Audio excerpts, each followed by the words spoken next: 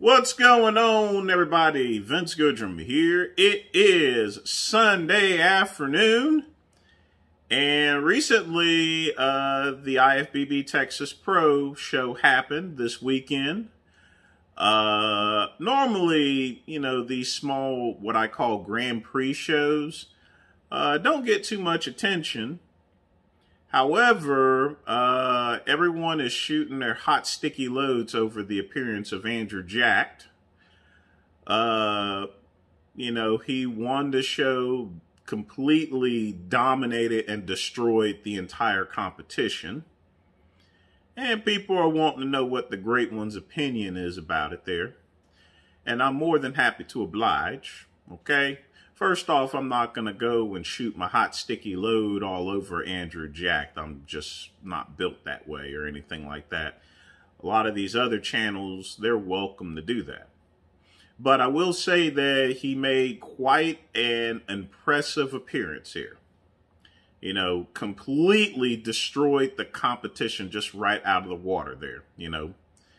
Abs was on point uh, symmetry and everything. And I mean, he was he was well defined. I mean, there's a couple of improvements that he could make.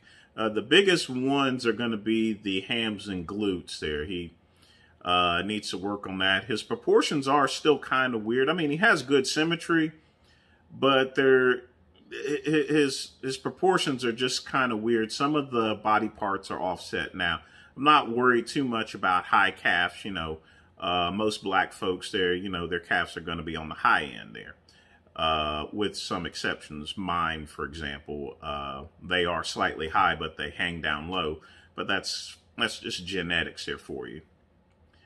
Uh, now, as far as his chances at the Mr. Olympia, he's definitely not going to be Mr. Olympia. I mean, he, he dominated that show, but remember, these are like Grand Prix shows.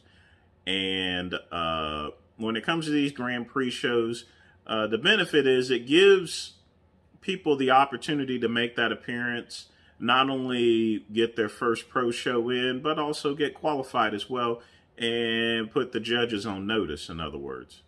Andrew certainly put the judges on notice there. So he's going to get a couple of good looks at the Mr. Olympia, no doubt about it.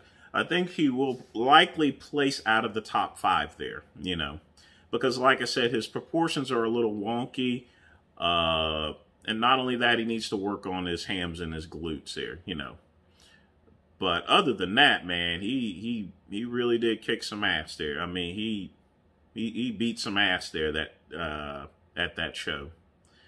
And I look forward to seeing uh, his progress in the future there, you know. And I think uh, everyone else is. But man,